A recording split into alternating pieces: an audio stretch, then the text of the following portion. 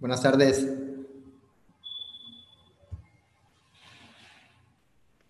Buenas tardes, profe. Buenas tardes, profe. Hola, ¿cómo están? Bien, bien.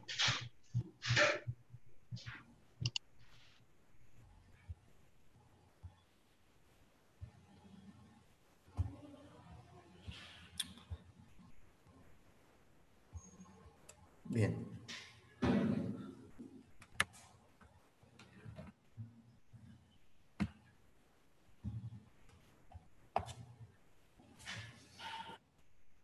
Algo que se me pasó decirles el- en la última clase, ya nada más para cerrar rápidamente el tema de los, de los microfluidos. eh,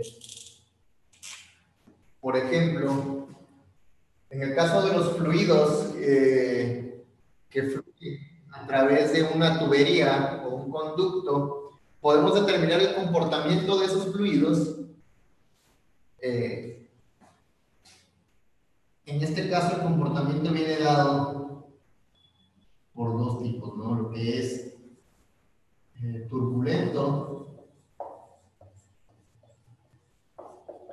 y laminar. De los tipos de flujo. Flujo, vamos a poner aquí flujo. Turbulento y flujo laminar. Entonces, para eso tenemos una relación que se conoce como el número de Reynolds.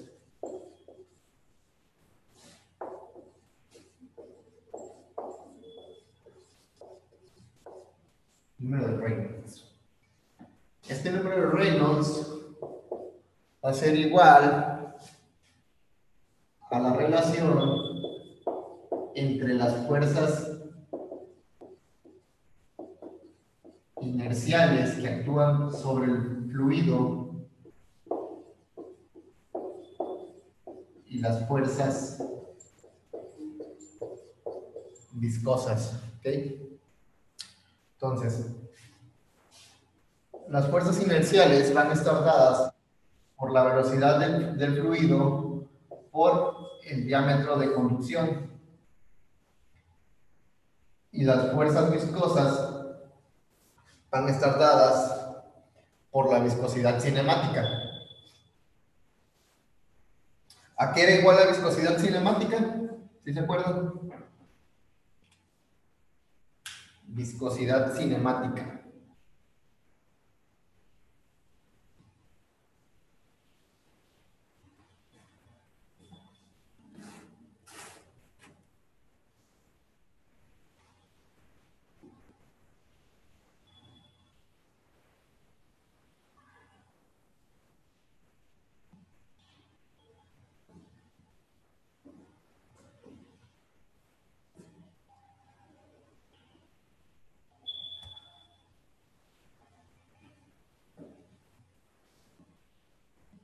¿A qué equivalía la viscosidad cinemática?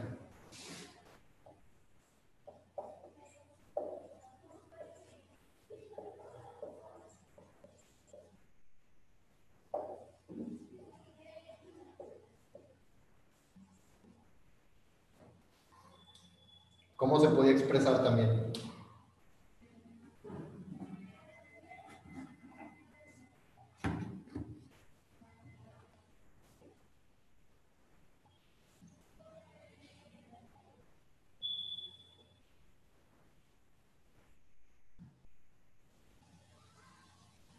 Eh,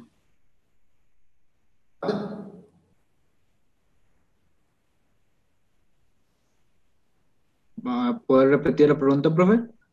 La viscosidad cinemática, ¿cómo se podía expresar también? Viscosidad cinemática.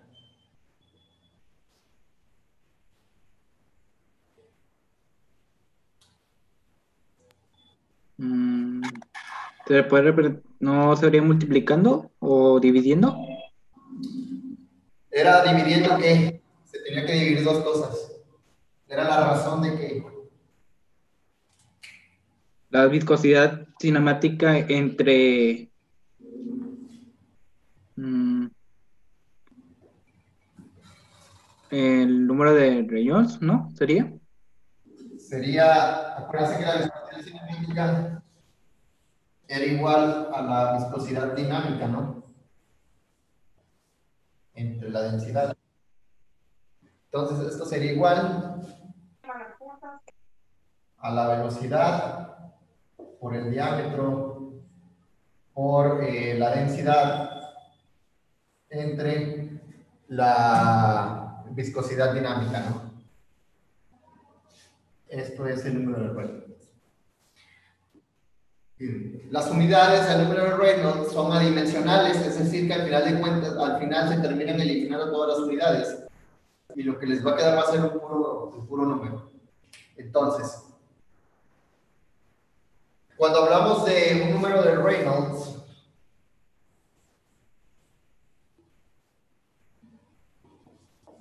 vamos a tener tres escenarios. El primero va a ser eh, menor a 2300, ¿no? Si el número es menor de 2300, menor o igual a, menor o igual a 2300 se dice que es flujo laminar. Si es entre 2300 y 4000, se dice que es flujo en transición.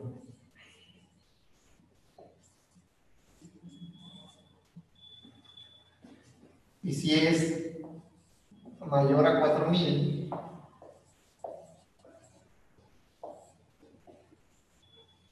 es un flujo turbulento.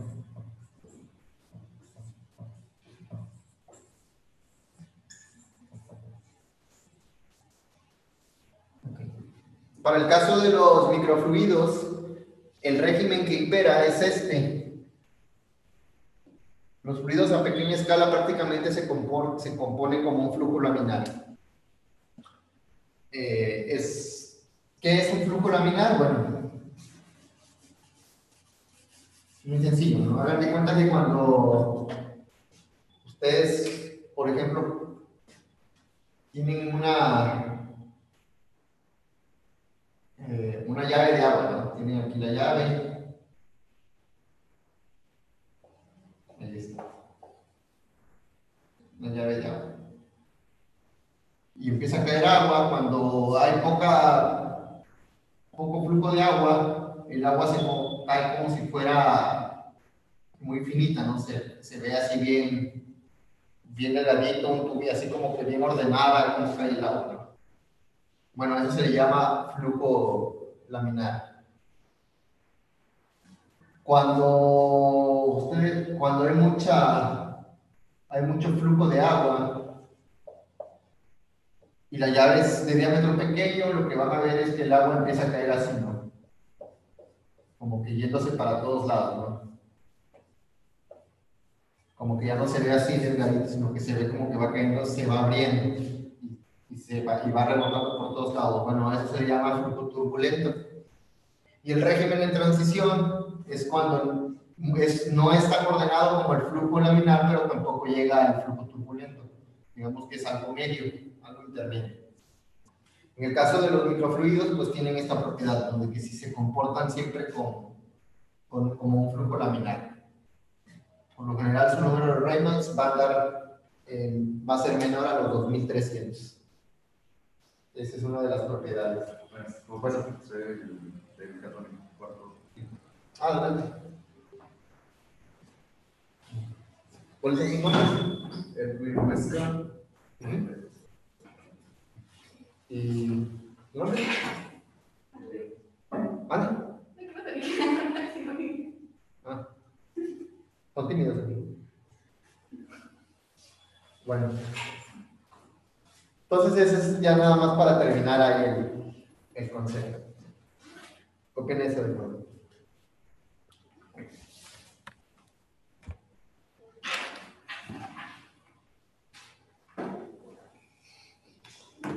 ¿Cómo andan en, álgebra lineal? ¿Ya llevaron álgebra lineal, por cierto? Ya. Ese es el problema. ¿Cómo andan en álgebra lineal?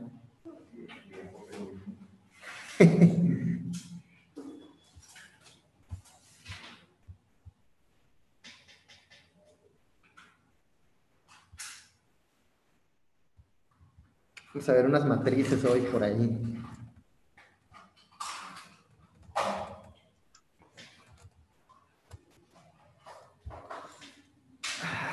La álgebra. De mis ramas favoritas.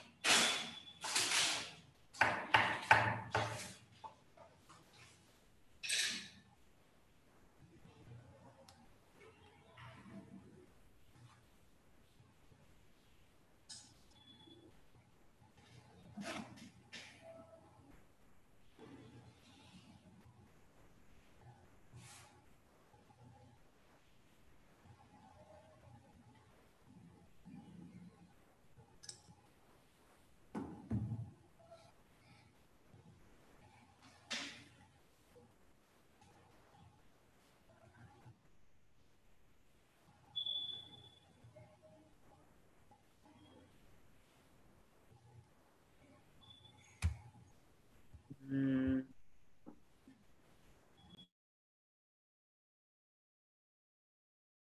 Mm.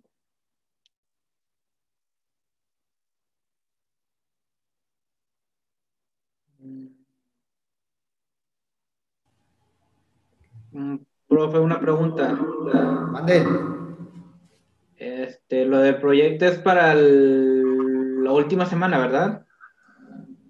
Sí, para el próximo miércoles y jueves de la siguiente. Ok, nada más quería saber eso porque ¿Ya lo acabaron? nada nos falta conectar los LEDs. Ah, perfecto. Es que cuando puse mi Arduino el código del, del semáforo, mm, me marcaba, probé un LED a ver si funcionaba, porque puse los tres LEDs, pero del lugar del verde, me el, el verde pasaba a rojo, o sea, y luego pasaba amarillo, amarillo, verde, rojo, amarillo, verde, sea, al revés.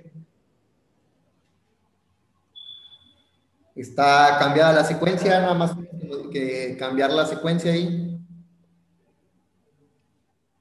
Ok, Sí, porque se me hizo muy raro. O sea, puse el código y ¿Lo, lo tienes por ahí? no, ahorita no.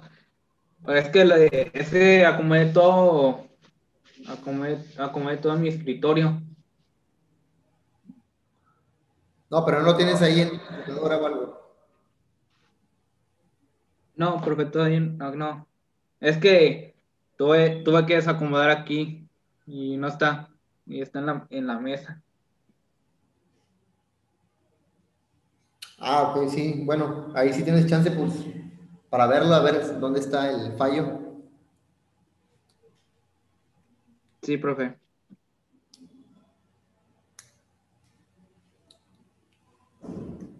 Bien. Nada más que termine de copiar eso, vamos a pasar ahora a otro tema. Lo que es el...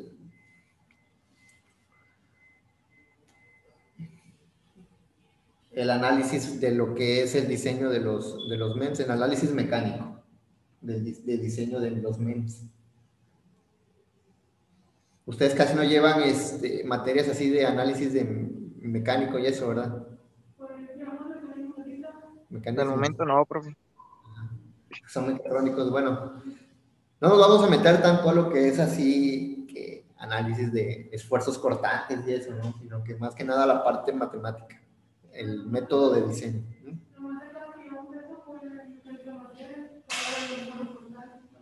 Ah, entonces sí ya lo llevaron. Ah, bueno, sí conocen ¿no? qué es. Los esfuerzos.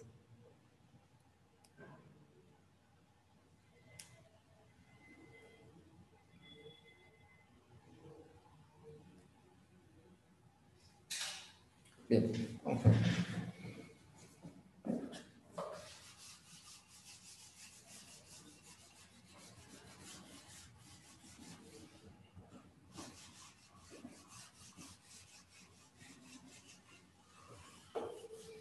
Bueno, para lo que es el, el análisis, por ejemplo, cuando ustedes diseñan un, cualquier estructura, ¿no? Pero eh, se emplea mucho lo que es el diseño de MEMS. Este, tienen que analizar las fuerzas y los desplazamientos que sufre un material eh, sometido a, una, a esas mismas fuerzas. ¿no? Por ejemplo, si tengo algo o de germanio, no sé, entonces, ¿cómo puedo saber las fuerzas a las que se someten? O a, la, a lo más bien, ¿cómo afectan las fuerzas a las que es sometido ese material? En el caso de los sistemas, eh, por ejemplo, macro, podemos decir que podemos, en cierto modo, medir las deformaciones, medir este, cómo se comporta el sistema, ¿no? Pero en el caso de los sistemas micro, pues, ¿cómo lo hacemos? Entonces, pues es difícil, ¿no? Obtener ese tipo de, valores. Para eso se utilizan métodos matemáticos que nos dan una aproximación de lo que es el, este, el, el, comportamiento del sistema. Y el que más se utiliza para el diseño de estos dispositivos es el método de los, de los elementos finitos.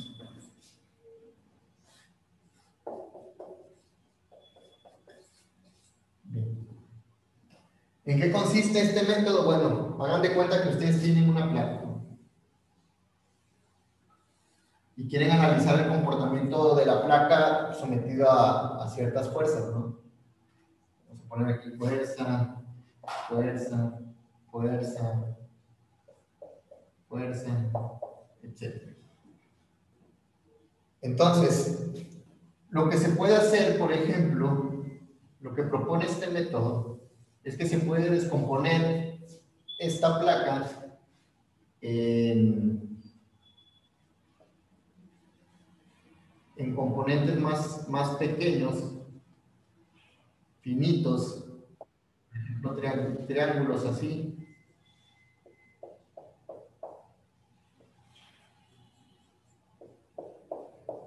Se ponen unos triángulos en donde se analiza cada componente, ¿no? Se obtienen los valores por cada, por cada componente. Por eso se llama elementos finitos, porque se descompone una cantidad finita de elementos.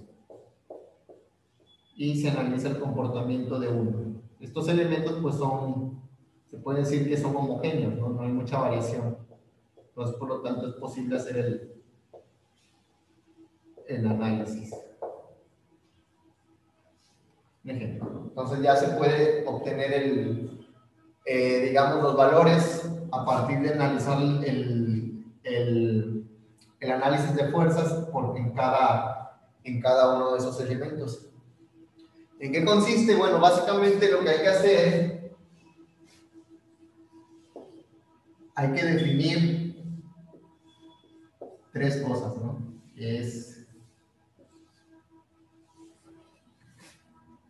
F cabo, donde F es el vector de cargas eh, sobre el vector de cargas actual sobre el cuerpo, ¿no?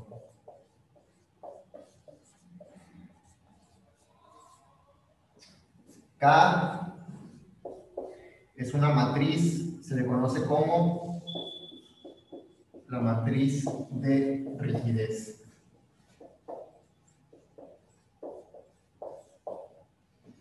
Y U es un vector que es el vector de desplazamientos. Y todos los desplazamientos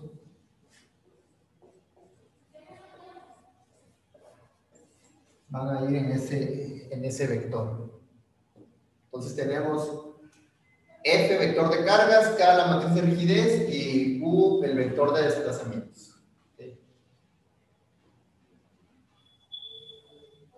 Entonces, mediante esta, este modelo matemático, se puede decir, mediante este método, se puede dar una aproximación no es algo que te dé un resultado así concreto, ¿no? sino que se da, dan resultados aproximados. Porque como todo está modelado en ecuaciones diferenciales, eh, lo que hace es dar un resultado aproximado de, eh, de los efectos de las fuerzas sobre el, sobre el cuerpo.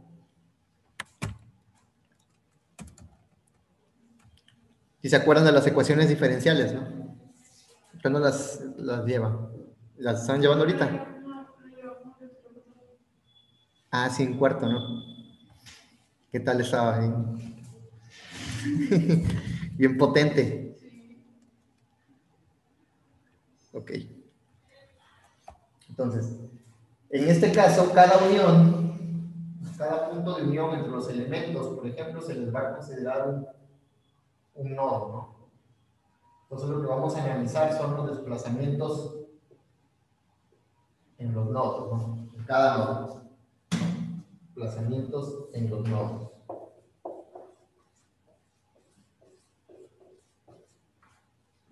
Este tipo de método se utiliza tanto para estructuras grandes como para estructuras muy pequeñas. En aquellas donde es muy complicado, es difícil eh, obtener, este, donde sus, las ecuaciones que modelan a los cuerpos son muy eh, complicadas y además es difícil eh, medir valores, eh, digamos, obtener valores bajo las ciertas fuerzas por se hacen ese tipo de aproximaciones. Vamos a ver. ¿Ya copiaron esa? Me avisan cuando terminen de copiar, por favor.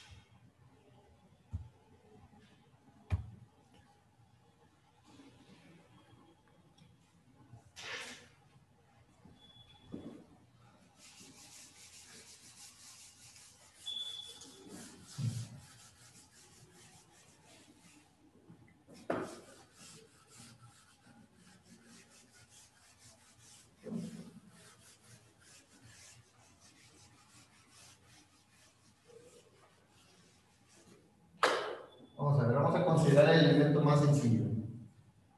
Una barra.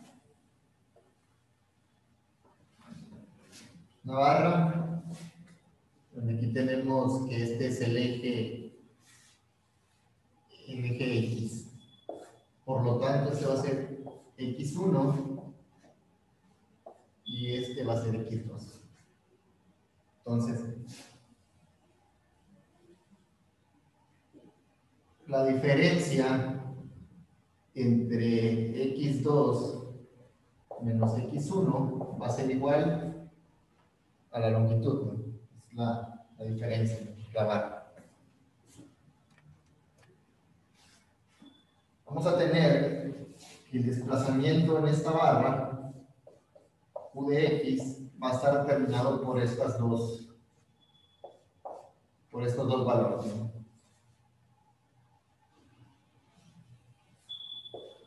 eh,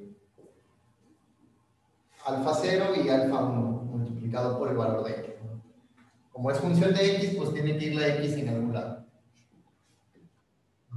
Alfa 0 es inicial, valor inicial, valor final. Son dos constantes que se introducen.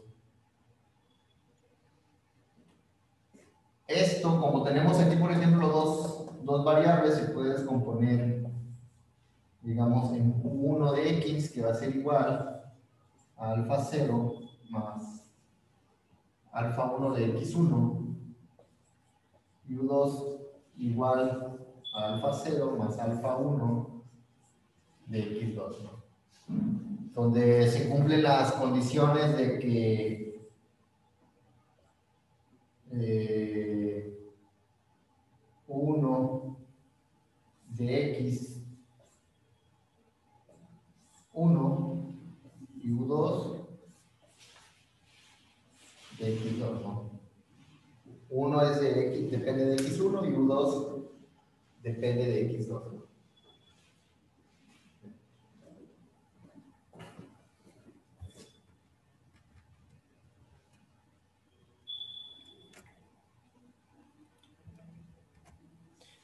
Si nosotros expresamos este sistema de manera matricial, ¿cómo quedaría? ¿Sí se acuerdan de cómo expresar un sistema de ecuaciones en forma de matrices?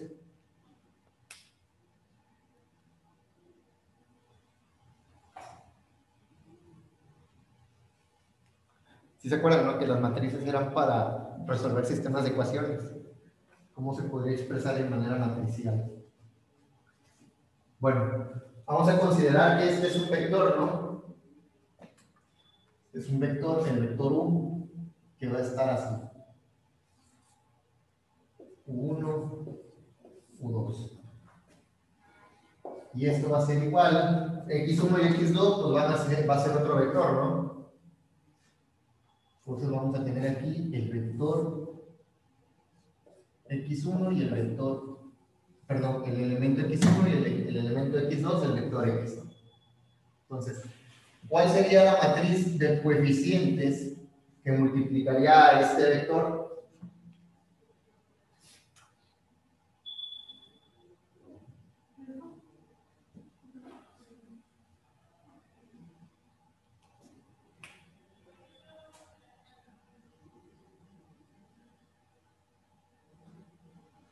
o mejor vamos a ver. Vamos a, vamos a decir que x0 y que alfa 0 y alfa 1 son nuestras variables. Vamos a poner alfa 0 y alfa 1. Si yo multiplico alfa 0 por 1, voy a tener el, el, el coeficiente de ahí, ¿no? Alfa 0. Y luego alfa 1 por x1, voy a tener este de aquí, ¿no? Y luego si multiplico en la ecuación de abajo alfa 0 igual por 1, y luego aquí por x2. ¿no? Esa podría ser una representación matricial, ¿no? Si hacemos la multiplicación, en este caso este vector es de 1 por 2, y esta matriz es de 2 por 2, por lo tanto, pues sí se puede hacer la, sí se puede hacer la multiplicación de matrices. Entonces tendríamos que alfa 0 eh, por x1 más, eh, ¿cuánto, ¿cuánto quedaría? Quedaría de 2 por 1. ¿sí? De 1 por 2, perdón. Y luego alfa 0 por alfa 1 por x2, que es este de aquí. No, por x1. Y luego alfa 0 por 1, eh, alfa 1 por x2. Ahí está. Esa podría ser una representación matricial del, del sistema. Bien.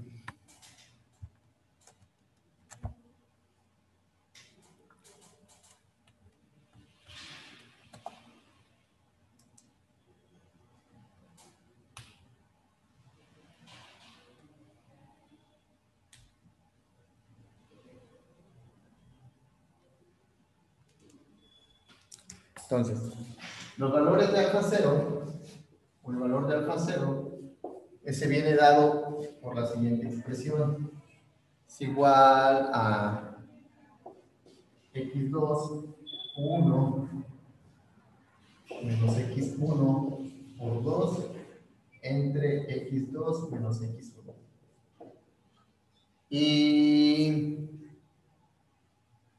alfa 1 viene dado por U2 menos U1 entre X2 menos X1.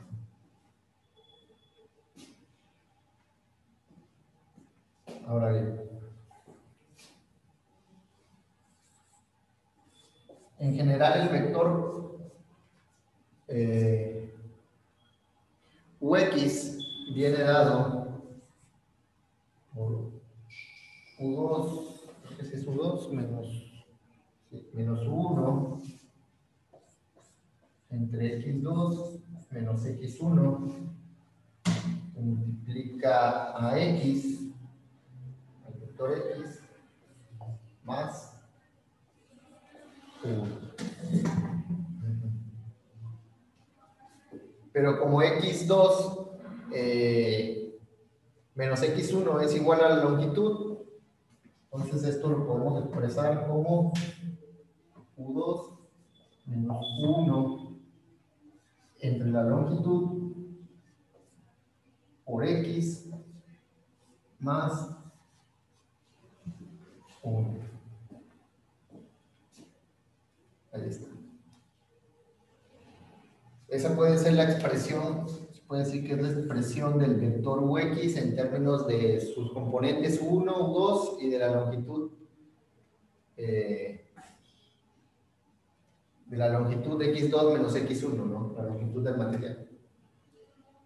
Bien.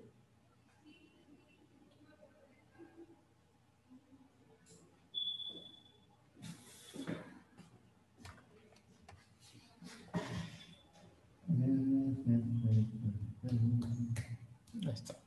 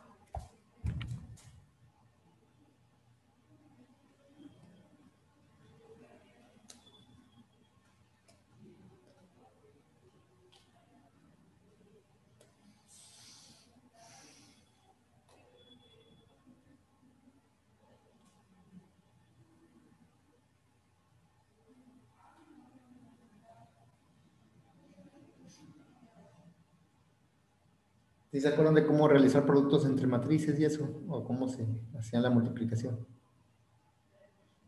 ¿Cómo era?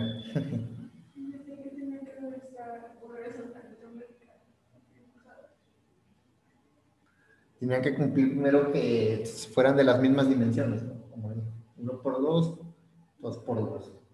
Eh, el número de columnas es igual al número de filas de aquí, por lo tanto, pues se pueden realizar los productos. Bien.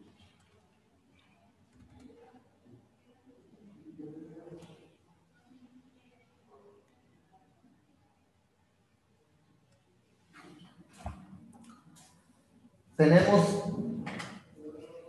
puedo borrar. ¿Sí copiaron esto? Sí.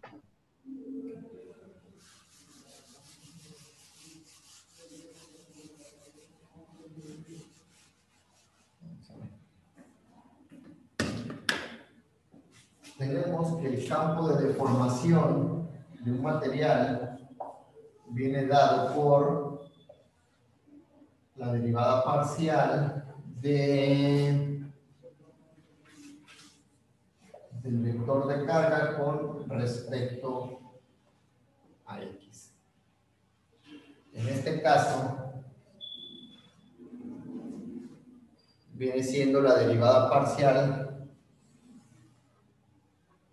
de esto de aquí, ¿no? Con respecto a x. ¿Cómo nos quedaría la derivada, bueno, de esto de aquí? ¿Cómo nos quedaría la derivada parcial con respecto a x de aquella, de aquella función? De aquel sistema.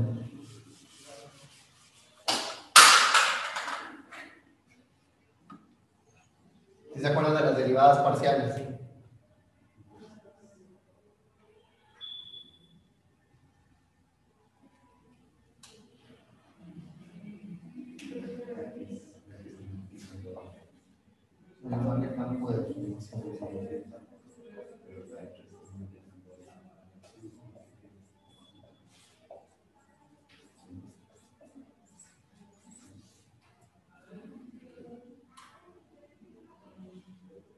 En este caso nada más deri- derivaríamos con respecto a x, ¿no? Entonces, la derivada de u2 menos 1 sobre l con respecto a x, nos quedaría u2 menos 1 entre l, ¿no? Y la derivada de 1,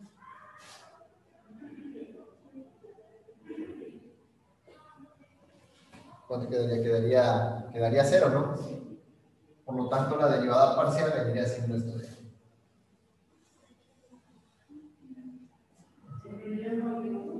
Si esto lo expresamos de igual manera como un sistema matricial,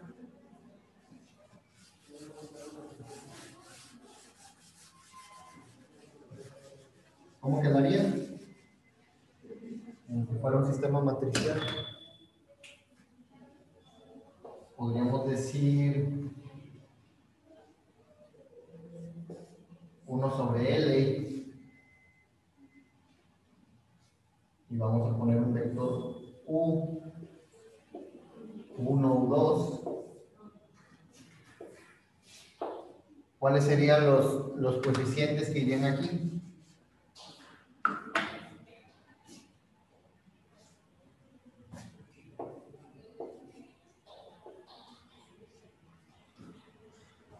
¿Qué número está multiplicando a, 1 en la parte del numerador? Bueno, menos 1, ¿no? Y a U2, pues 1, ¿no? Entonces esa sería la, la expresión de este sistema de manera matricial. Menos 1 y 1. Menos 1 por U, 1, menos 1, ¿no? Entre L. Entonces aquí luego 1 por U2, 1, 2 entre L. ¿Qué es eso de aquí? Ahí está. Entonces, la expresión del campo de deformación va a ser esta. Entonces, igual a epsilon.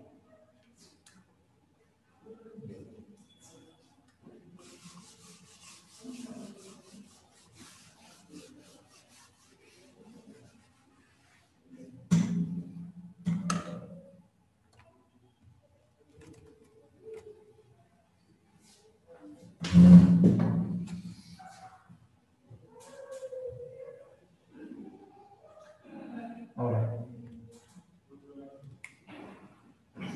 si queremos obtener o saber la tensión del elemento, la tensión a la deformación, tenemos que la tensión a la deformación va a ser igual al módulo de Young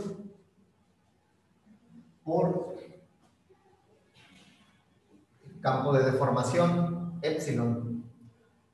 Por lo tanto, esta sigma va a quedar como, ¿cómo quedaría?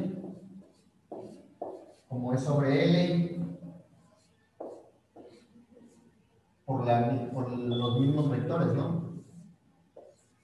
1 y U2. Sí, no, porque esto, estos son constantes, así es que se sacan y ya nada más nos quedamos con los coeficientes y el vector de desplazamiento.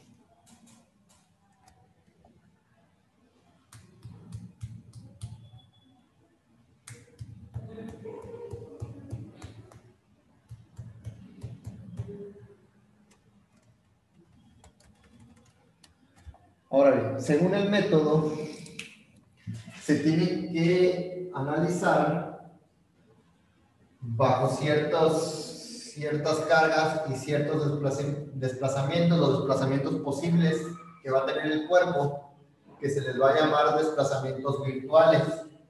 En este caso, por ejemplo, vamos a tener un vector así que va a ser el vector de desplazamiento virtual. Desplazamientos virtuales. O sea, son los que pueden suceder, que podría tener material, pero no necesariamente van a suceder. Son los posibles movimientos que pueda tener. Entonces, en este caso, este va a ser idéntico al otro, al que habíamos definido primero. Vamos a tener que el vector de desplazamientos virtuales va a ser igual a el 2 menos 1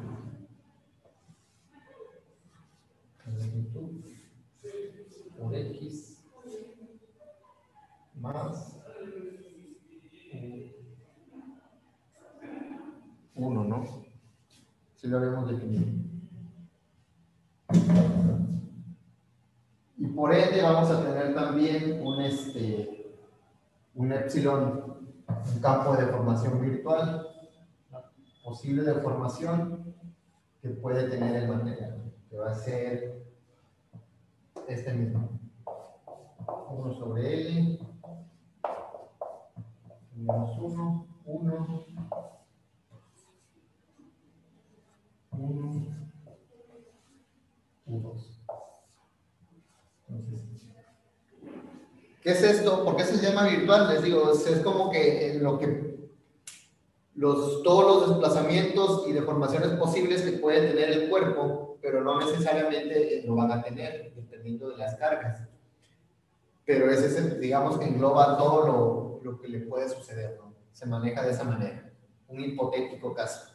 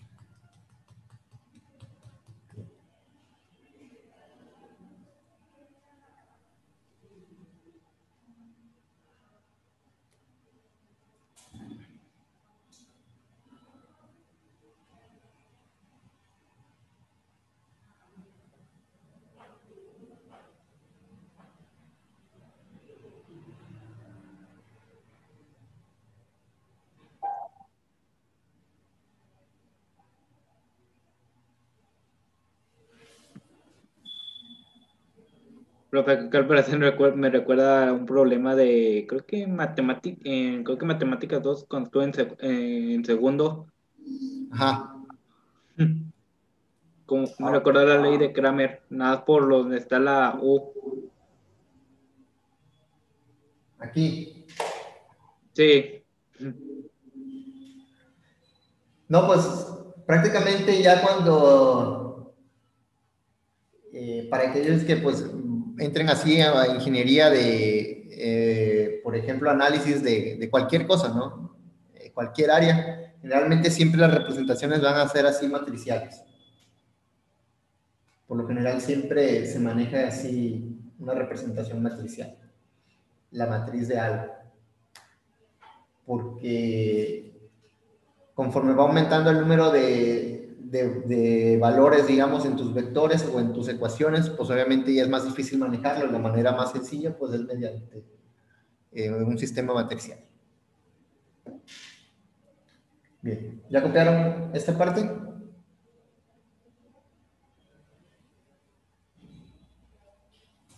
Vamos a ver.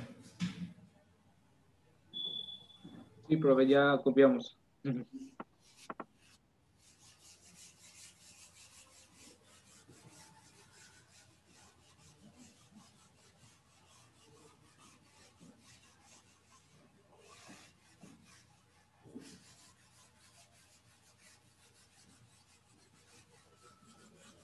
Luego tenemos aquí un principio que se conoce como el principio de los de los trabajos virtuales. un principio que se introduce al, al método.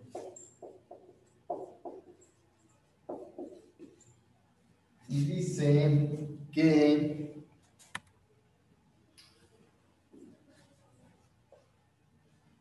F1 por 1 eh, más F2 por 2 va a ser igual a F2, perdón, a F1 eh, y F2 por 1 y 2. Y este va a ser igual. Vamos a poner letras. Bueno, sí. Esto va a ser igual al vector transpuesto por el vector de desplazamientos U1 y U2. ¿Sí se acuerdan que era la transpuesta?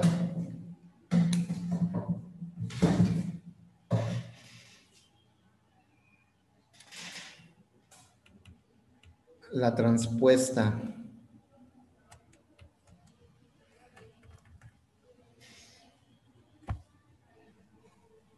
Cuando voltean una matriz, ¿no? Lo pasan de una posición, por ejemplo, si es un vector columna, perdón, fila, pasa a ser columna, o si es columna, pasa a ser fila, ¿no?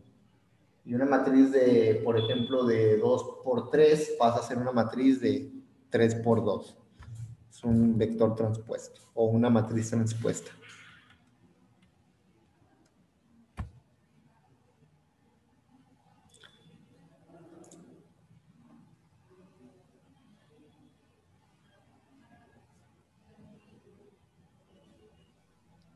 Mm, Bien. Que no sé, que yo sepa, eso nunca lo, nunca, eso nunca lo habíamos visto. Pero. transpuesta? Ajá, la transpuesta nunca la habíamos visto.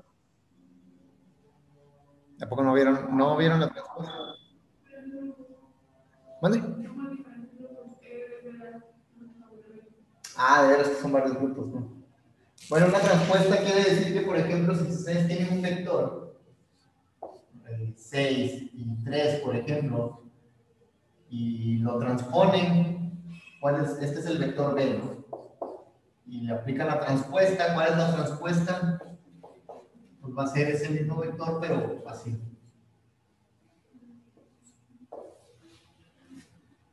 Y aquí se le llama la transpuesta porque el vector originalmente es este, es así como este, nada más que se transpone para que se pueda hacer la multiplicación, por eso se pone la T. Bien.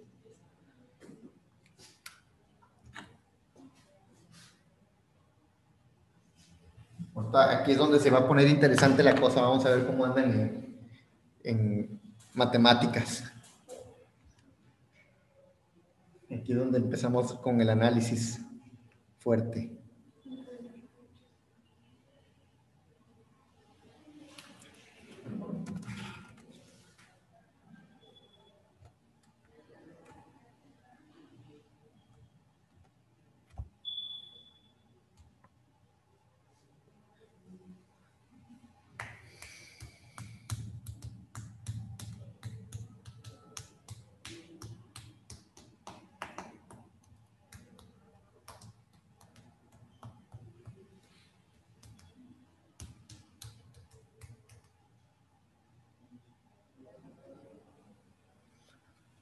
Bueno. Voy a borrar.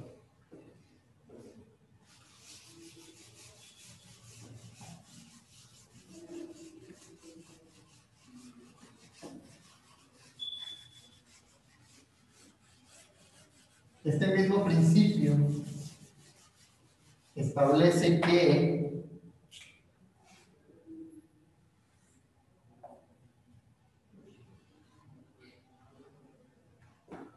la tensión por eh, la deformación virtual con respecto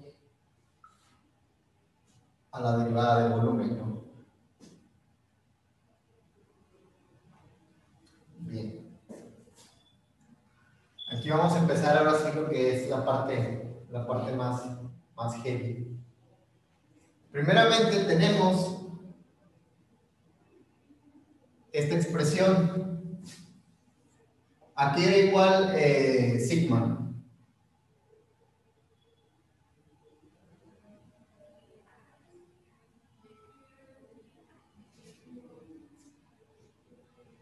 Aquí era igual sigma, de lo que era la- el esfuerzo de tensión o la tensión.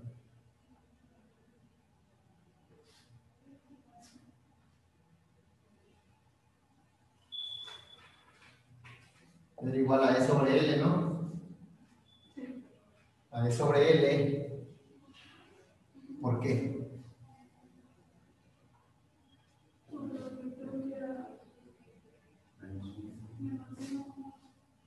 Por un vector era así.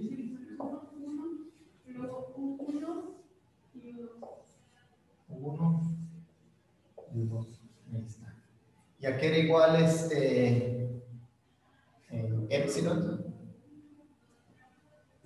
Igual a 1 sobre L, ¿no?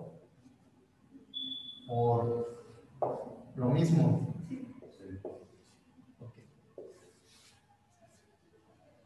Eh, uno y dos. Ahí está. Por eh, dB. En este caso, dB es la variación del volumen. Pero la variación del volumen también se puede expresar como que el volumen viene siendo la variación de qué?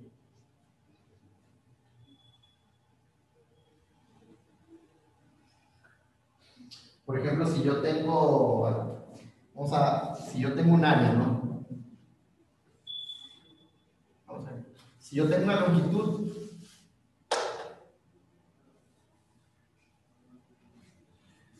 eh, y luego tengo un área, podemos expresar el área como si fuera una variación de la longitud, ¿no? Y si nosotros tenemos un área y la expandemos en una longitud, podemos expresar eh, esto, la derivada del volumen, perdón, el volumen va a ser igual la derivada del área con respecto al desplazamiento, ¿no? En X. Entonces, esto lo podemos expresar como si fuera área por dx, ¿no? Ahí está. Área por dx. Y tenemos que poner los límites de integración en función de x.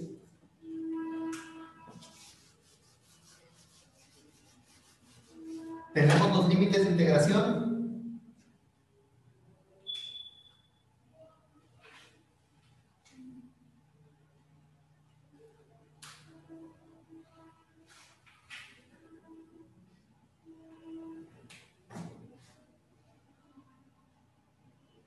Pues podríamos decir que este va a ser x, x2 y este x1, ¿no?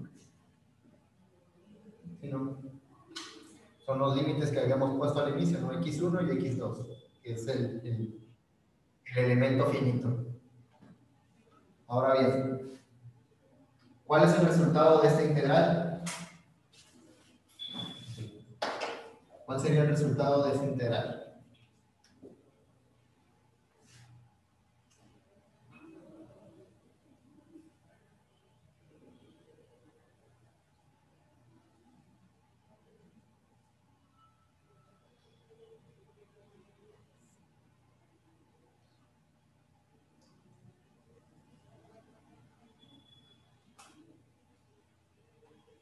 Horrible, ¿no? Así, integrales de matrices y todo eso. Bueno, pues hay que ver primeramente qué, qué, este, qué es lo que está en función de x, ¿no? Que ahora es lo que establecimos como nuestra variable de integración, x. Como no tenemos el volumen, lo pasamos a x. ¿Y qué es lo que está en función de x? En esta, en esta ecuación,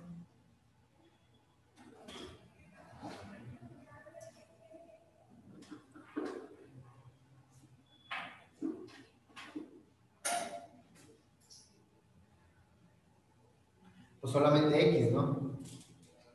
Entonces, hagan de cuenta que todo esto, desde aquí hasta aquí, pues sale como constante, ¿no?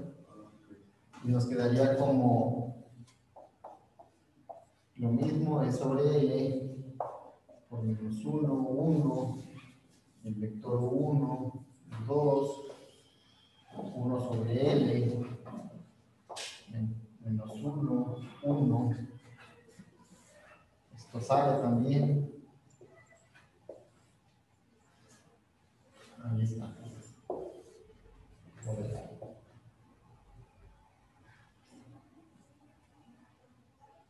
De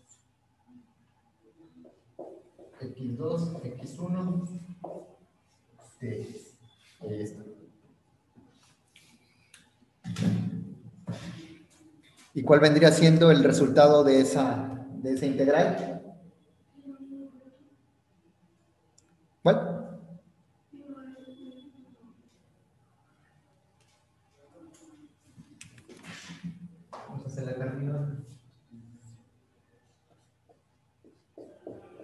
¿Cuál es el resultado de? Está facilita, ¿no?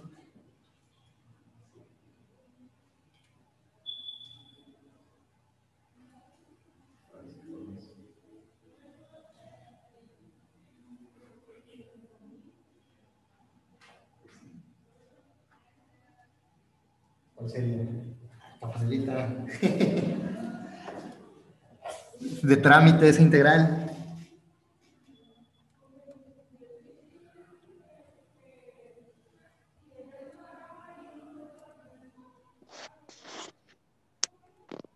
Ahí más o menos. ¿Cuál es?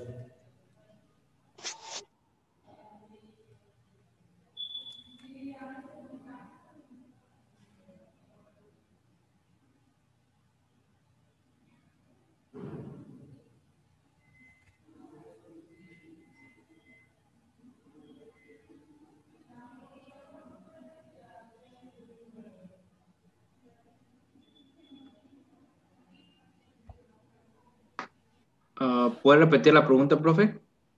¿Cuál es el resultado de esa integral? La de arriba.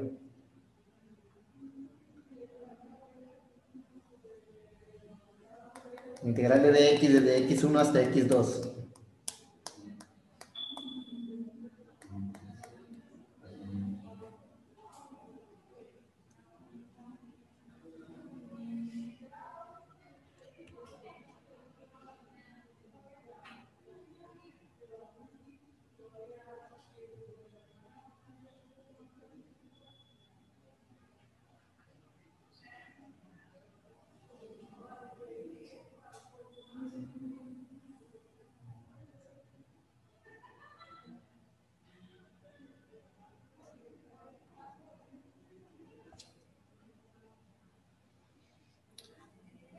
Tan fácil es integrar, ¿a poco no, no, se acuerdan? Es la más fácil de todas. la, la primera integral que les enseñan siempre en el curso, la integral de x.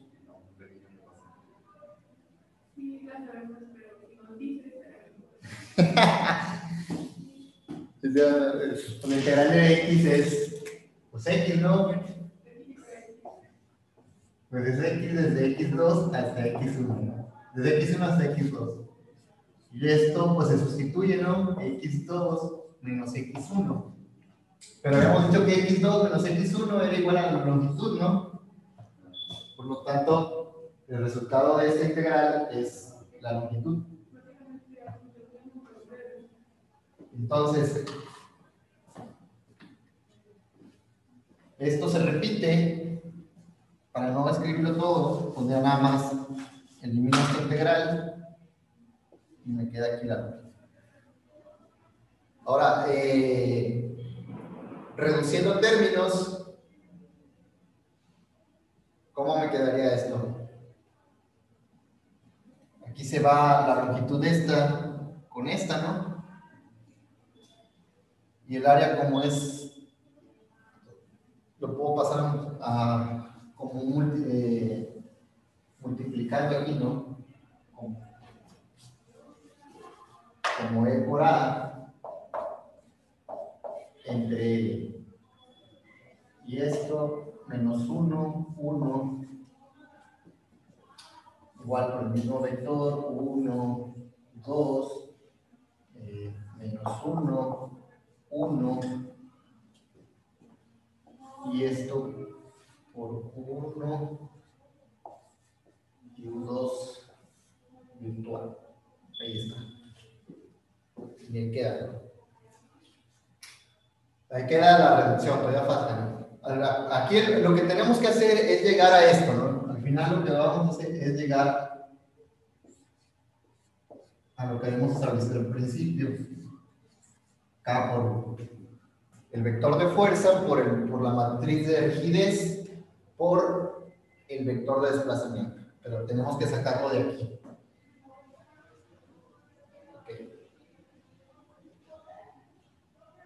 Ahora bien,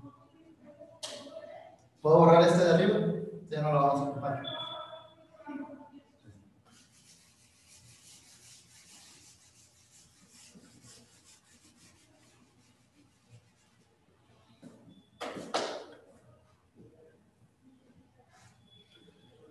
Entonces, resulta que esto lo tengo que igualar, en este caso con las fuerzas. ¿Se acuerdan que habíamos establecido un vector de fuerza? Que era F1, F2 por 1, 1. Esto lo tengo que igualar con esto. Entonces, esto me va a quedar aquí, ya sobre L. Esto lo puedo pasar a una sola matriz, ¿no? ¿Cómo lo podría reacomodar?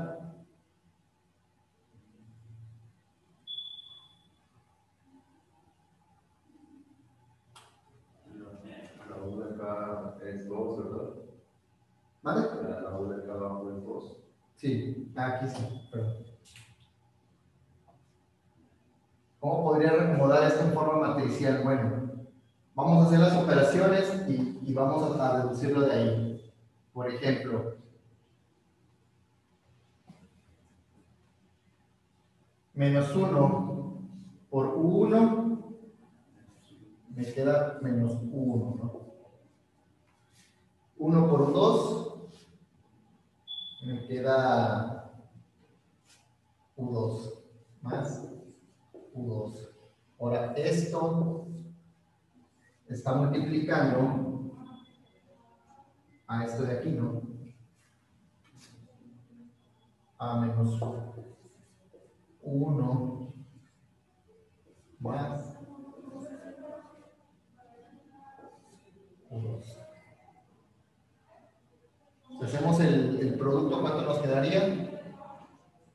Vamos a ver, nos quedaría 1 y luego menos por más, a menos, menos 1, 2, menos 2, 1, más 2, me quedaría ese resultado.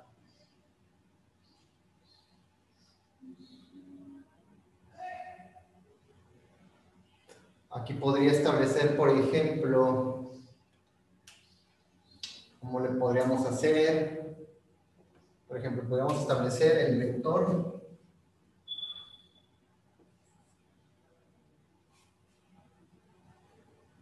el vector 1, 2 que multiplica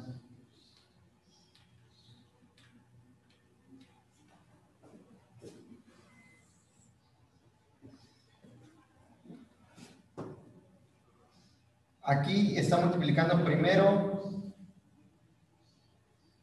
a uno, tendríamos que poner cuatro, ¿no? Cuatro elementos. Para que quede, tendría que ser de uno. Mm.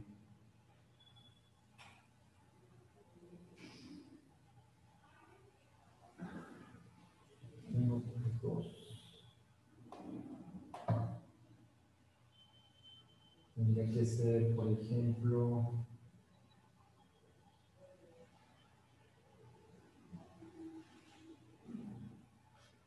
aquí sería uno, eh,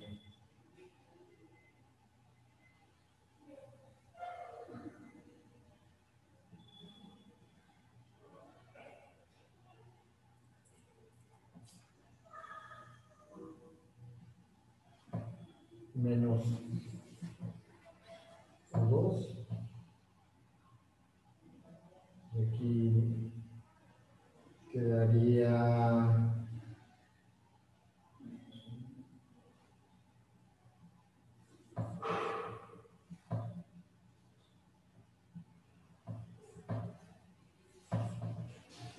Vamos a ver.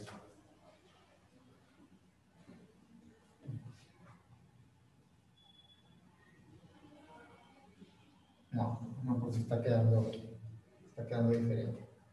Tendría que ser de 2.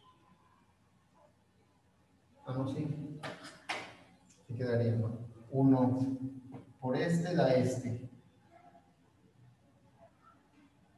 Por este da este. Y luego tenemos que este por este da este. No, perdón, da, sí da este. No, este. Y luego este por este da este, ¿no?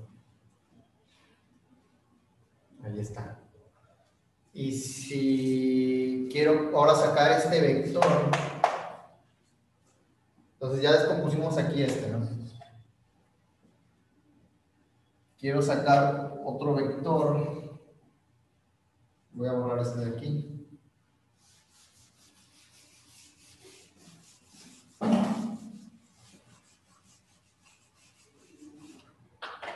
Ahora este es descomponerle en otro vector de U1 y U2. ¿Cómo quedaría? Tendría que ser un vector de 2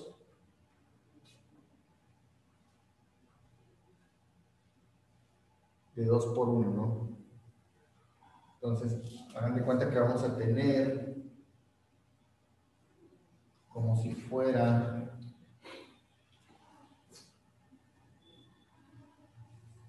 uno, U2, que multiplica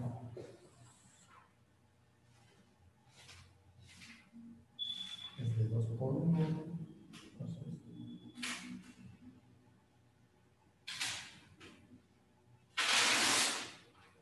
Vamos a ver. Y este es de 2 de dos por 1, entonces el otro tiene que quedar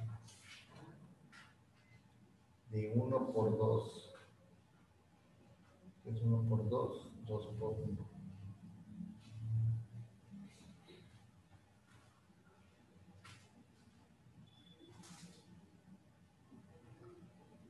Bueno, no, porque ahí hagan de cuenta que voy a hacer la descomposición. Hagan de cuenta que estas son dos ecuaciones separadas, ¿no?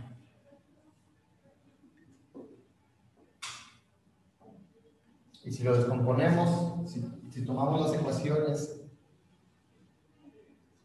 de esta manera, pues.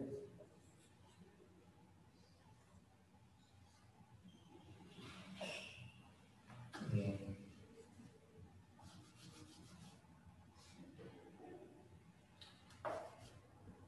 Voy a poner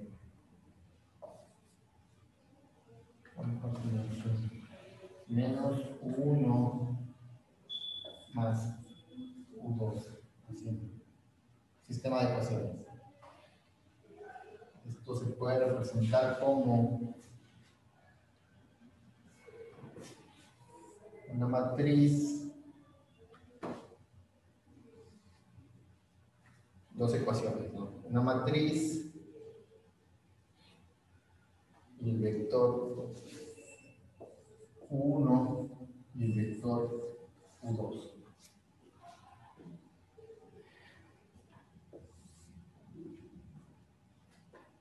Aquí iría 1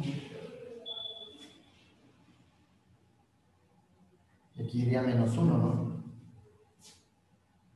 Y luego aquí iría menos 1 y aquí iría 1, ¿no? Si lo vemos desde este punto de vista sería 1 por eh, 2 por 2, 2 por 1. Entonces tiene que quedar así, tiene que quedar. Quedaría como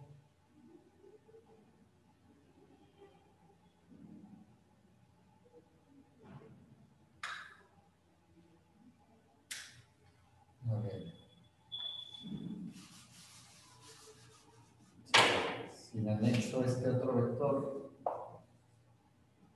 1, 2, ahí está. Tengo aquí este vector es de 1 por 2. Y esta matriz es de 2 por 2. Y este vector es de 2 por 1. Entonces, si hago este producto, me va a quedar un vector de 2, de 2 por 1. Y este es de 1 por 2, por lo tanto sí se puede efectuar. Y al final me quedaría un de 1 por 1. Entonces, vamos a ver. A ver, a ver.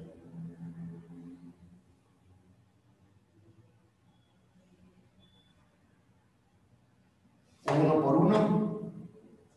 Vamos a hacer el producto aquí, ¿no? A ver qué tal queda.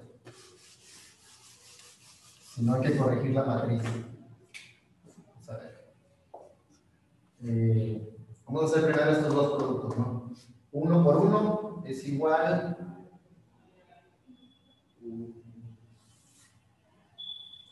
a uno, a uno. Eh,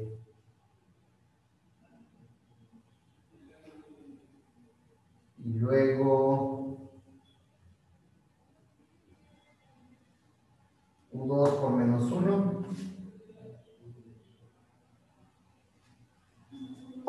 Menos U2, ¿no? Ahí está. Y luego para el segundo, menos U1 más U2. Ahí está. Y luego esto lo multiplicamos por este.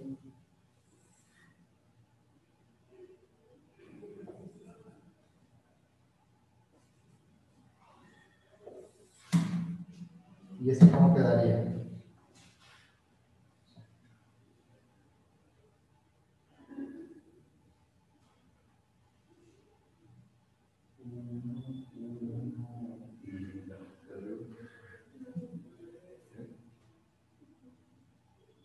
A ver, uno por dos.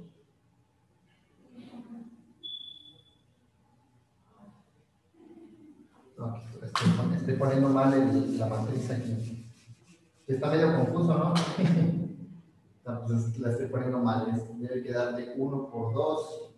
Por lo tanto, debe ser 1 y acá el otro. Tiene que ser entonces menos 1 más 2. Ahí está. Ahí sí ya se puede realizar la multiplicación. Por eso no se podía ir. A ver. Entonces, si multiplicamos este por este, nos va a dar 1 eh, por 1, que es este de aquí, y luego menos U menos do- U2, menos U2 por este de aquí, que es este de aquí, ¿no? Y luego este por este,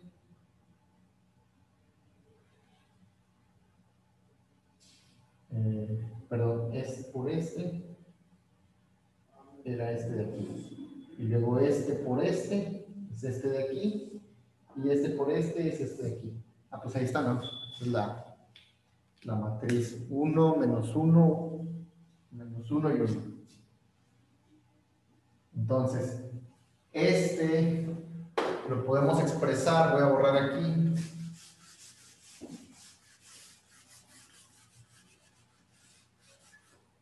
De esta manera, ¿no? Esto por Q1, Q2, por la matriz 1 menos 1 menos 1 y 1 por 1 y 2 listo bien esto está igualado con esto ¿no? entonces eh, como son iguales pues podemos eliminar los vectores virtuales, ¿no? desplazamiento virtuales, porque son los mismos en ambos lados de la igualdad. Así es que no habría ningún problema, nos podemos quedar con este. Con esto nada más. Si quiere copien esto para borrar ahí poner esto. Ah, sí está complicado. Estar sacando las matrices.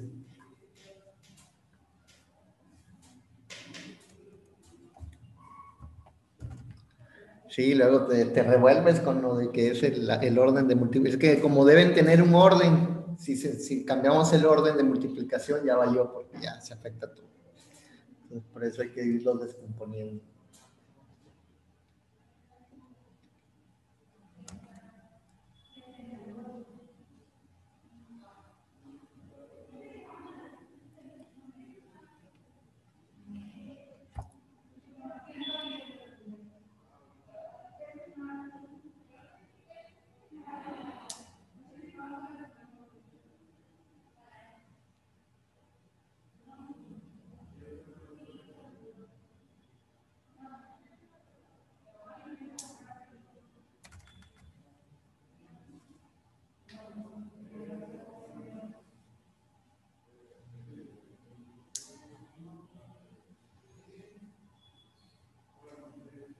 Si hay, de hecho, si hay alguna duda aquí con este, con lo que acabo de hacer, me dicen, ¿eh?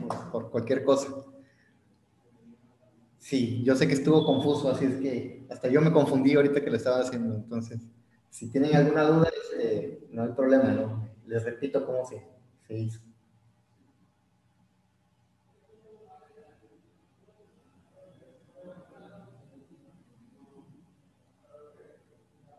No no a ese resultado si transponíamos la la anterior. No. ¿Cuál anterior? ¿Cuál, cuál, cuál? Bueno, que sacamos este U1 menos U2 y menos U1 más U2. Sí. A lo mejor pues, no, puede ser. O sea, es que ahí, esto es desde el principio, ¿no? O sea, ya se ve como que se va, va a salir esa matriz. El problema es estar reacomodando, pero a lo mejor sí. Sí, porque transponiendo pues, cambia la forma de multiplicarlo. Sí.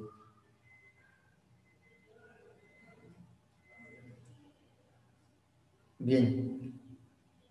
Básicamente, ¿qué es lo que hicimos? Pues este, descomponer, ¿no? O sea, eh, los vectores que teníamos los descompusimos de esta manera para poder eliminar este vector con este y, que, y sacando una matriz aquí.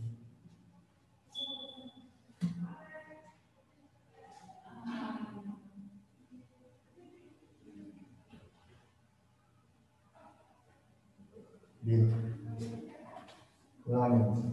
¿Ya puedo borrar aquí?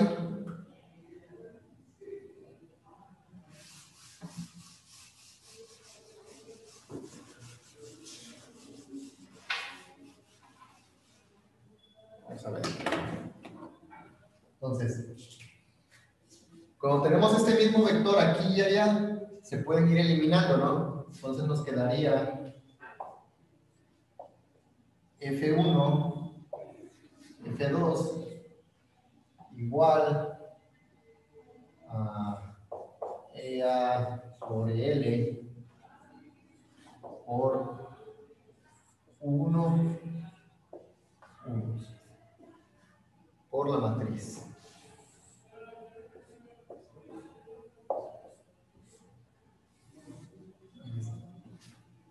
Se va cortando.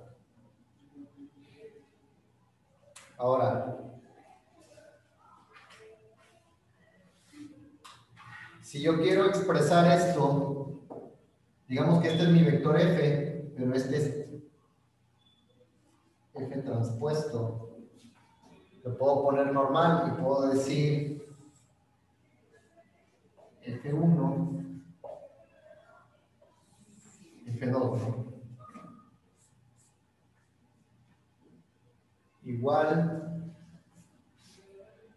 a EA. Ahora, este vector también lo puedo transponer, ¿no? Y puedo decir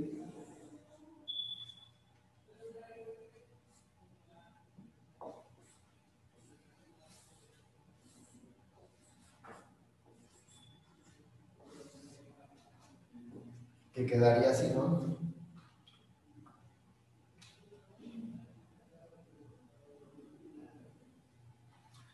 Si hacemos, si multiplicamos esto por esto, va a ser igual a que multipliquemos esto por esto, ¿no? Aquí quedaría eh, 1 menos Q2 y luego en el otro eh, quedaría menos 1 más Q2. ¿ok? Y aquí de igual manera, ¿no? Quedaría 1 menos U2 menos 1 más U2. Como lo transpongo, lo tengo que cambiar de orden, ¿no? Para que me dé lo mismo. Ya no podría ir aquí adelante, sino que tendría que ir allá. Y pues de aquí deducimos Esto. Lo siguiente.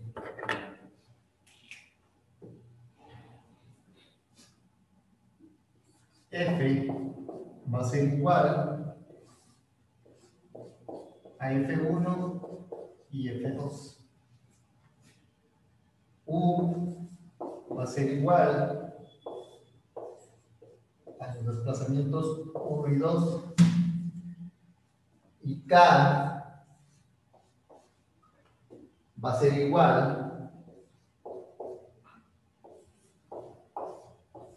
a EAL 1 menos 1 menos 1 y 1.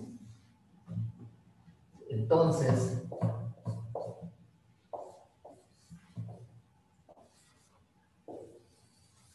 Ahí está.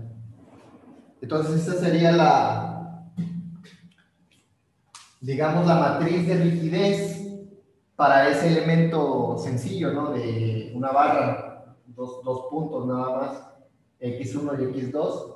La matriz de rigidez estaría dado por esto, dependiendo del material, el área transversal, eh, la, el- la longitud, la diferencia, su módulo de Young del material y estos serían los valores de su matriz de rigidez.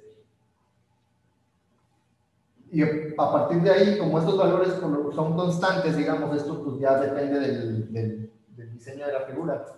Me haría, podríamos determinar ya sea el desplazamiento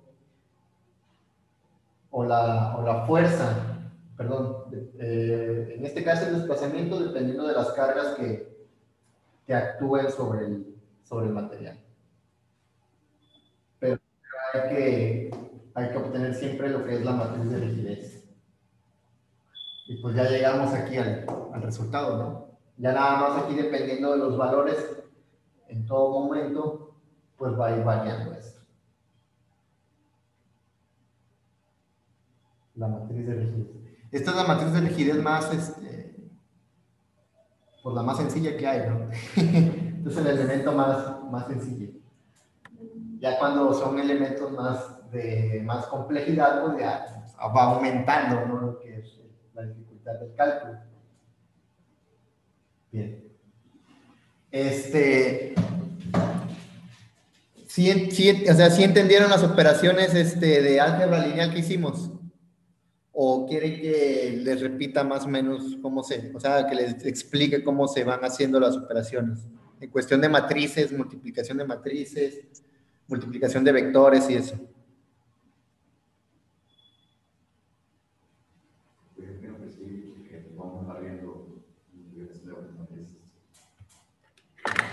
Profe, yo creo que sí, para que no nos revolvamos.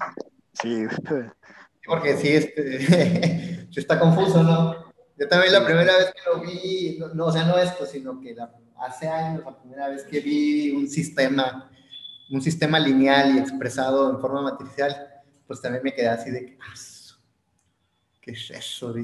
Y, todo, y el, y el sistema nada más que estábamos expresando era un circuito este, con una resistencia y una, y una bobina. Pero y se hace el análisis, por ejemplo, si queremos saber el, el, comportamiento del circuito en todo momento, dependiendo de la corriente que ingrese y todo, este, como son, este, eh, va variando, entonces pues se hace un sistema y se hace de manera matricial. Y también es un rollo, ¿no? Hay que sacar las ecuaciones diferenciales del, de la, del voltaje y la corriente en la bobina, eh, la ley de mallas y todo. Y ya después una matriz. Y eso nada más para, para un elemento, ¿no? Resistivo y un elemento inductivo. Ahora imagínense cuando es un circuito con varias resistencias y varias bobinas y capacitores y todo, pues ya, va quedando una matriz así enorme. Bien. Bueno, sí es, es importante que, que conozcan lo que es conceptos de álgebra lineal.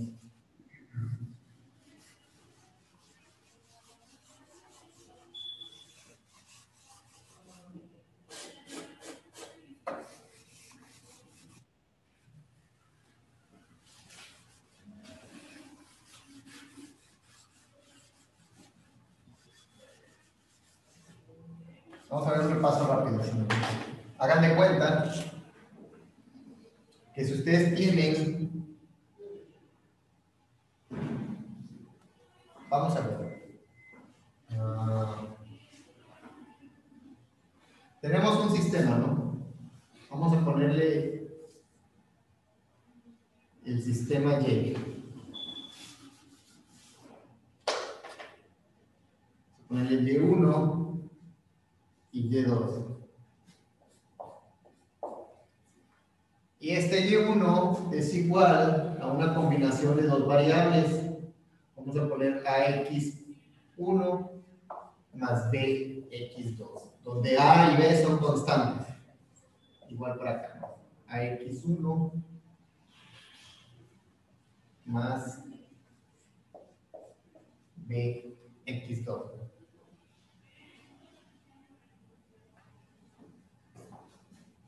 Aquí se, se igualaron. Entonces, C. C y B. Ahí está, no sean, no sean iguales. Los sistemas de ecuaciones podemos expresarlos de manera matricial, ¿no? En este caso podemos decir que este va a ser nuestro vector el vector Y. Y este vector va a estar compuesto por Y1 y Y2, ¿no? Ahora, aquí voy a tener otro vector que va a ser mi vector de x, que va a estar compuesto por x1 y x2. Si lo ven desde este punto de vista, el vector y es un vector de funciones, son funciones, vector de funciones donde tenemos la función y1 y la función y2. Y las funciones dependen de las variables x1 y de las variables x2, ¿no? Entonces,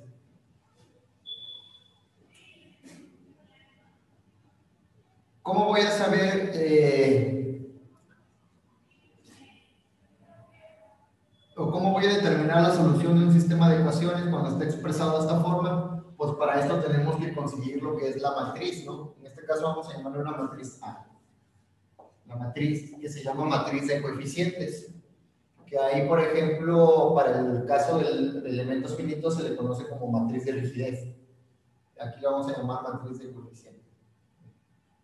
Y esta va a estar expresado por aquellos valores que multipliquen al vector x y que como resultado nos dé el vector y. Entonces, ¿cómo lo podemos expresar?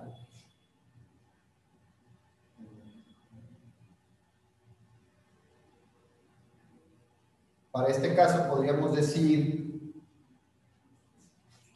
vamos a ver, eh, aquí iría A primeramente, y aquí iría B, ¿no? Y luego aquí iría C, y ahí iría D, ¿no? Esto tiene que cumplir con lo siguiente y igual a x.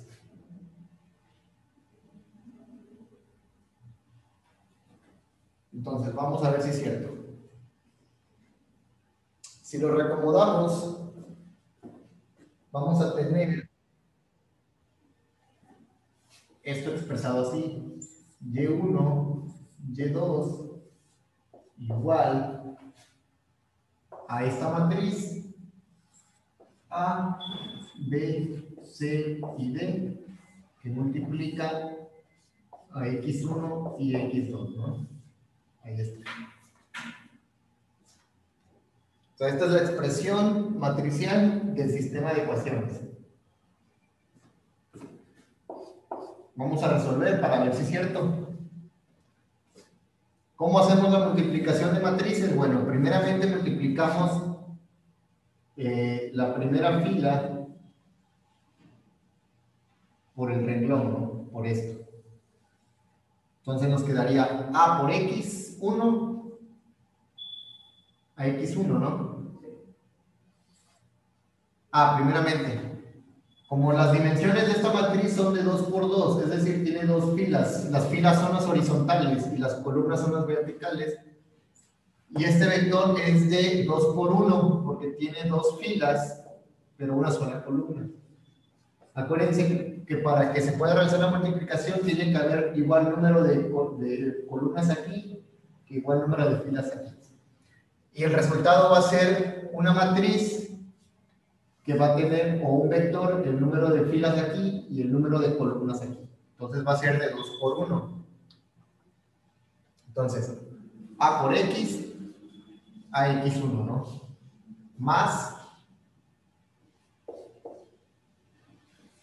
Bx2 y luego abajo en la segunda fila C por X1, CX1 más D por X2 de X2.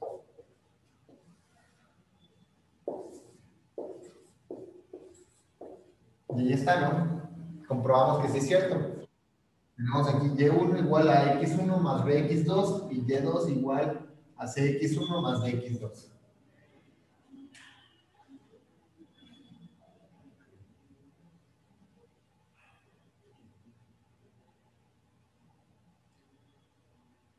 ¿Por qué lo expresamos así? Bueno, vamos a hacer de cuenta que, que tenemos valores de para X por ejemplo, x1 y x2 pueden tomar valores desde, supongamos, desde menos 100, x1, x2, eh, pertenecen a los números reales. Es decir, que pueden tomar cualquier valor, desde menos infinito hasta infinito. Entonces, como puede ser cualquier valor que puede tomar x, pues imagínense la cantidad de cálculos que hay que hacer. ¿Cuál es la mejor manera de solucionarlo? Pues establecer una matriz de coeficientes, que es esta, donde no importa el valor que tome x, siempre va a realizar la misma operación. O siempre va a ser la misma operación, ¿no? El valor este no va a cambiar. Si x1 toma un valor aquí y x2 tiene otro valor aquí, nada más realiza la multiplicación eh, de matrices y tenemos el resultado del vector. Entonces, por eso es que los sistemas siempre se modelan así de, en, en forma matricial, porque es más fácil expresarlos y además es más fácil cuando se utilizan eh, simuladores numéricos para, para establecer los resultados. Entonces, por ejemplo, supongamos que tenemos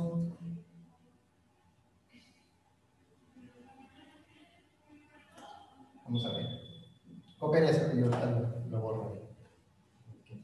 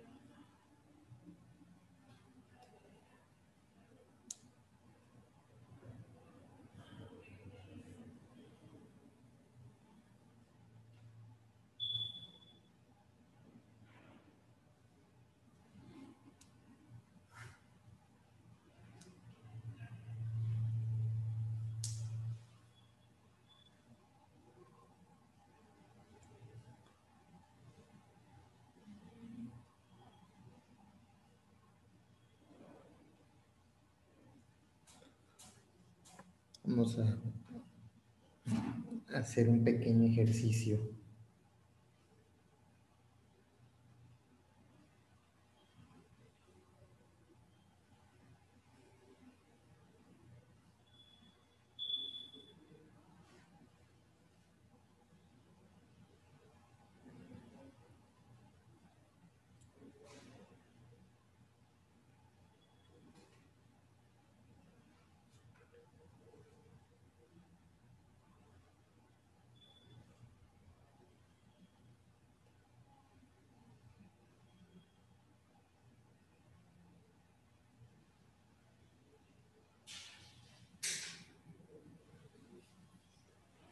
Bien.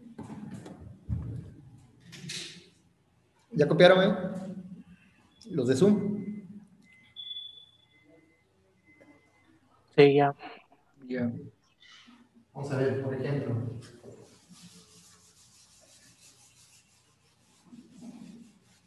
Vamos a ver. Supongamos que nuestro sistema cambia, ¿no? Supongamos que son tres ecuaciones. Nuestro sistema cambia, aquí va a ser b x2 más d x3 y luego aquí e x3 menos f x1. Bien, ¿cómo se podría hacer ahora la representación matricial de este sistema?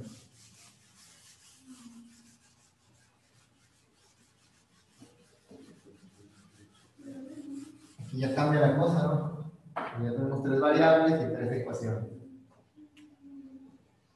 Bueno, seguimos el, el mismo principio, ¿no? Establecemos aquí y1. ¿Mande? Ah, pues, ah, sí, aquí, aquí es el. Establecemos el mismo principio, ¿no? Tenemos aquí el vector.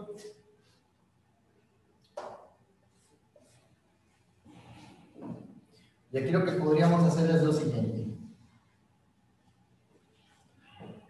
Para la primera ecuación, ¿cuántas x1 hay?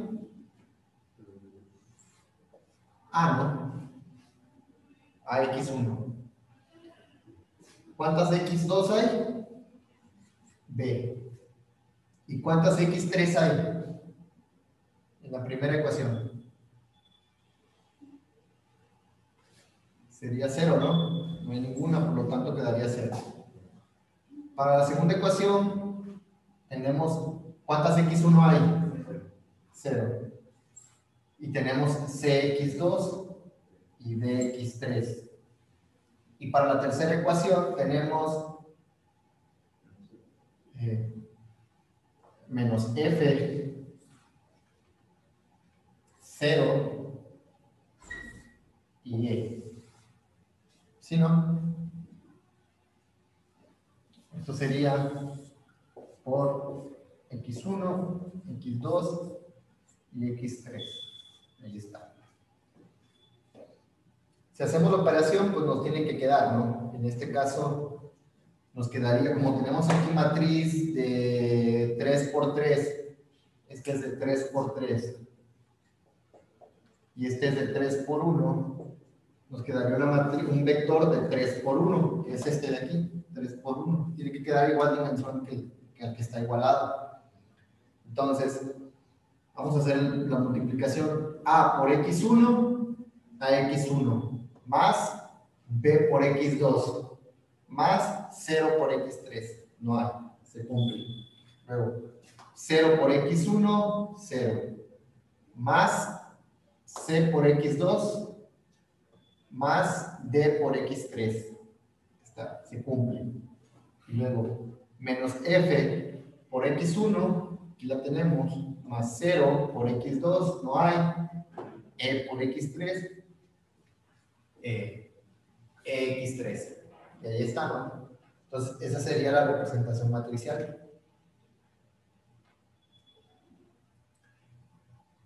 Aquí, por ejemplo, si nosotros, este, otra ventaja de estas representaciones es que, por ejemplo, nosotros podemos determinar si los sistemas tienen solución o no, eh, solamente resolviendo el determinante de la matriz, que por ejemplo se obtiene el determinante de la matriz y ya nos indica si un sistema tiene solución o no tiene solución. O por ejemplo, en qué si queremos localizar los ceros y los polos de un sistema, eh, bueno, las raíces del sistema, que por ejemplo, que quiero saber en qué, en dónde se hace cero, ¿no? ¿Con qué valores o con cuáles valores se hace en cero el sistema? Y me interesa que mi sistema sea cero, ¿no? Mi sistema de ecuaciones. Entonces, calculo aquí a lo que son, por ejemplo, valores de la matriz, que son los se le llaman los valores característicos, son las raíces de la matriz. Y ya esos valores que me da la matriz son donde el sistema se vuelve cero. Pero pues eso ya no, no, no, lo, no lo, van a ver. Solamente es para que lo sepan porque ese, también se hace esa representación. Eh, si yo quiero saber si el sistema tiene solución, eh, qué, cuáles son las soluciones, dónde se hace cero, etcétera, pues lo único que tengo que hacer es resolver esta matriz y ya no me meto con esto, ni me meto con esto, no más con esto. Entonces, por eso es que también se utiliza, siempre se utilizan representaciones matriciales para un sistema de ecuaciones. Este, ¿Hasta aquí alguna duda? Los, los demás, no sé si hay alguna duda aquí. Es como si fuera la fórmula de Gauss-Jordan, ¿no, profe? Pues Gauss-Jordan está basado, basado en esto, en representaciones matriciales. De hecho, si ustedes hacen el Gauss-Jordan, al final de cuentas lo que hacen es llegar a una matriz de unos, ¿no? Puros unos. Y ese, esos valores son los, el resultado de las, de las variables. Hasta que dé, como si decirlo, el A que dé 1, el C que dé, o sea, un 1 y el E que de 1, porque los demás es como sería el B y el 0 sería el B y el, la O serían como 0 La O sería como 0, la C sería 1, la D sería 0. En este La F son- también sería 0. Sí, que vuelve cero. Entonces, eh, como dices, el- la eliminación gaussiana o Gauss-Jordan, pues están basados en eso, en representaciones matriciales. Tratar de llevar a la matriz a puros ceros y nada más que me queden unos valores aquí en la diagonal principal. Entonces, si me queda un valor aquí y cero aquí, ese va a ser el valor de x1. Y si me queda un valor aquí y ceros aquí, es el valor de x2. Y si me queda un valor aquí y ceros aquí, es el valor de x3. ¿ok? Entonces, pues ya viéndolo así no está tan difícil, ¿no? Lo que pasa es que sí es confuso. O sea, ya cuando metemos, este, quitamos las x y las y y metemos ya lo que son este, otros, las variables de los, de otros, pues ya como que sí te... Si no, pues sí, o sea, a mí también hace rato sí se me quedé así, no, lo estoy haciendo mal, y ya, me acordé, ah, se me olvidó. dije, no, sea, está mal, está al revés, dije, no me va a salir porque lo estaba poniendo, estaba poniendo el vector al revés, y no, pues no me iba a salir la multiplicación, dije, no, pues no me va a salir. Bien. Voy a pasar listo de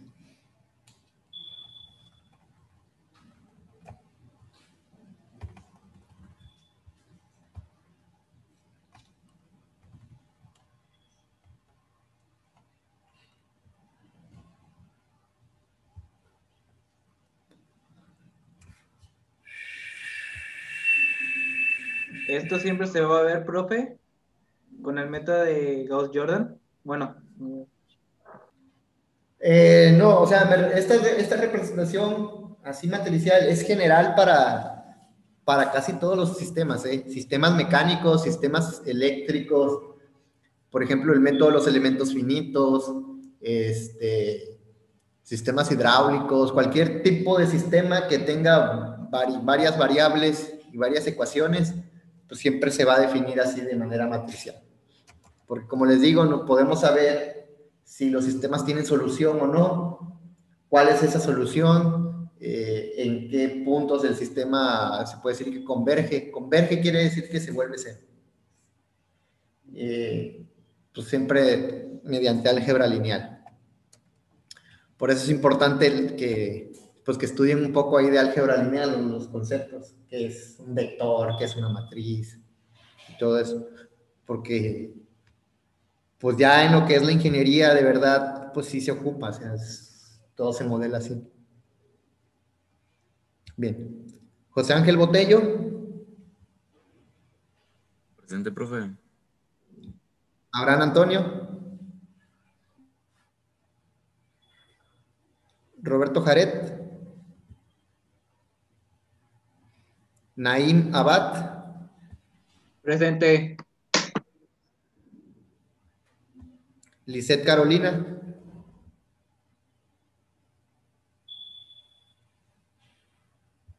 Lisette Carolina,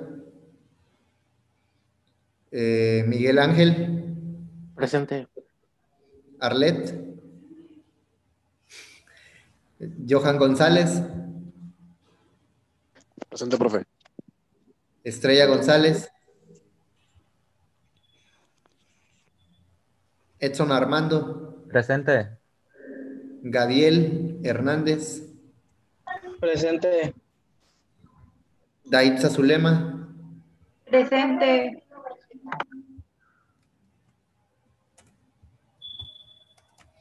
eh, José Guadalupe,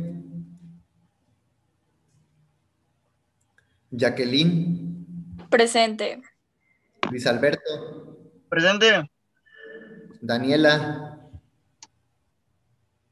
Silvano, Gilberto Iván, Presente, profe. Marco Polo, Presente. Yazarí, Yamilet, Reyes Contreras, José Manuel, Dylan Antonio, Magali Sauceda, Presente. Brandon Segura, Presente, profe. Cristian Asiel,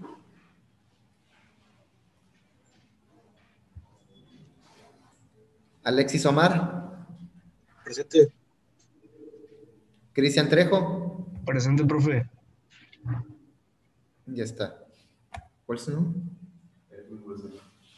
Ah, pero no estás aquí, ¿verdad? No, por lo que pasa es que la maestra todavía no me ha agregado la, la persona. Porque apenas me iba a poner este, para prórroga para poder coger. Ah, ok, sí. Ya está. También iba a mencionar que este, como no había entrado las dos semanas pasadas, no sé si se puede hacerlo algo pendiente. Sí, si quieres ahorita platicamos nada más. No, no te me vayas. Este, bueno, pues ya está. Si quieren nos dejamos hasta ahí, ya nos vemos mañana. Ok, profe. Bueno, Ya, hambre. Sí. Vemos, profe. Hasta mañana. Mañana las matemáticas me dan hambre. Jared, Brandon y Johan. Eh.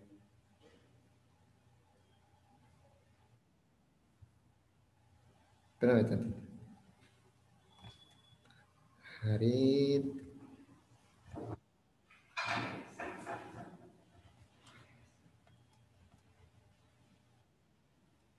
Y Brandon no está. Ya. Ajá. Este.